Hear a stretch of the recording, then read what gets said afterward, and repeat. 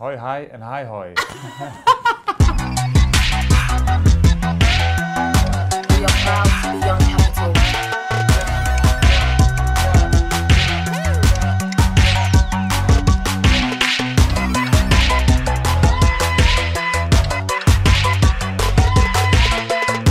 wel eens zo'n eh, sollicitatiebrief ontvangen voor een eh, vacature in de autobranche. Affiniteit met auto's is dan heel belangrijk. En die jongen ging daar eh, heel erg diep op in tijdens de motivatiebrief. Benzine stroomt door mijn aderen. Ik rij op dit moment een puntje, puntje, puntje Hyundai, weet ik veel wat. Ja, het is weer heel anders dan normaal. Dus je, je leest er wel en ja, op die manier zorg je er wel dat jouw motivatiebrief eruit springt. Ja, tof.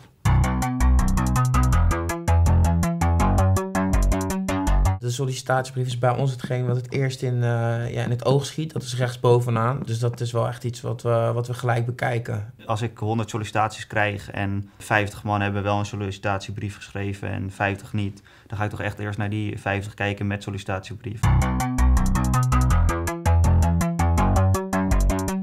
Als je bijvoorbeeld begint met een eh, quote, eh, dan zou ik wel nieuwsgierig worden. Ja. En dan heb je de, meer kans dat ik verder ga lezen. Hierbij laat ik weten dat ik wil solliciteren op die functie. Nee, dat, ja, je hebt gesolliciteerd op die functie, dus ik weet dat je wil solliciteren op die functie. Eh, dus begin niet met dat soort zinnen, daar starten de andere 50 ook mee. Ja. Start met de vier belangrijkste dingen voor jou of de dingen die jou het meest eh, tekenen. Als je Ja. daarmee begint, dan weten we in één keer wie je bent, waar je voor staat.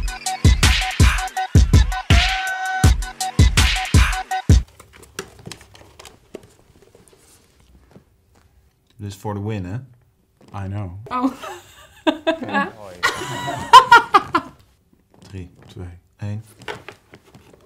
Beste uitroepteken. Beste uitroepteken, zo word ik graag aange- aangesproken. Mag wel persoonlijk zijn, hoeft niet met geachte. Het Nee. is wel leuk als mensen me generaal Rico nog gaan noemen, maar ja, hoeft niet. En ik denk ook als je op een wat jongere functie solliciteert, dan mag je ook best wel een, een speelsere aanhef gebruiken. Precies dezelfde sollicitatiebrief hebben, terwijl het andere functies zijn en alleen functietitels aangepast. Als je bovenin de verkeerde datum hebt, betreft en dan een hele andere vacature benoemt of geacht en een verkeerde naam. Als ik al bij het begin zie dat dat verkeerd is, dan denk ik ook al wel een beetje van, hè, dit vind ik wel slordig, dit Ja. kan eigenlijk niet. mijn naam is Ivana. Ik kreeg eh, beste Ivanka. Dan denk ik, ja, dan heb je huiswerk niet goed gedaan. Ja. Voor mij dus heel erg de levensverhalen, want daarin ga je misschien snel omdat je iets wil vertellen, maar je moet ook kort en concreet blijven. Pas daarin op dat je niet je cv gaat beschrijven in je motivatiebrief. De voorwaarden vanuit eh, de, ehm, Oh ja. de vacature, zo knippen en plakken. En dan, dit ben ik. En dan eh, zo dat rijtje voorwaarden eronder. Probeer dat eh, niet te doen. Je zoekt wat iemand leuk vindt in de functie, eh, wat iemand leuk vindt in de organisatie. En waarom diegene denkt dat hij bij de functie en bij de organisatie eh, past. En jouw levensverhaal, daar zijn we zeker geïnteresseerd in. Maar dat mag in het gesprek. Ja, de woorden en de mooie containerbegrippen, zoals je het zegt, eh, die moet je kunnen toelichten. Dus vertel eh, als je enthousiast bent waar dat uit blijkt of welke ervaring je hebt meegemaakt waarin dat is voorgekomen. Probeer dan eh, even aan je vriend of een vriendin uit te leggen waarom je die functie zo graag wil. Hè, want dan vertel je het heel natuurlijk. Schrijf dat dan eventjes slordig op. Dan heb je in ieder geval je pure verhaal op papier staan. En ga dan later schappen en zinnen mooi formuleren.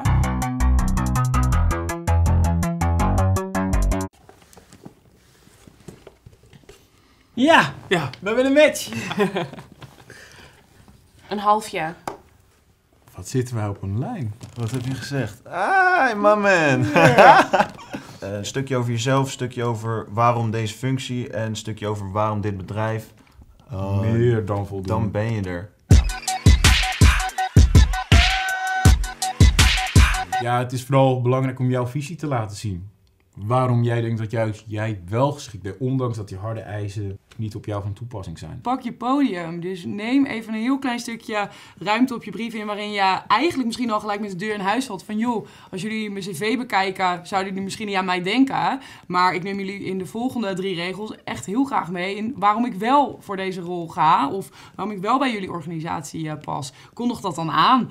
Laat zien wat ja, eigenlijk daar tegenover staat, wat jij jou zo goed maakt. Voor goede doelen gewerkt. Zoveel doorzettingsvermogen waar eigenlijk iedereen zou stoppen. Laat dat zien. En dan eh, kan je zeker een belletje van iemand verwachten. Dat weet ik wel zeker.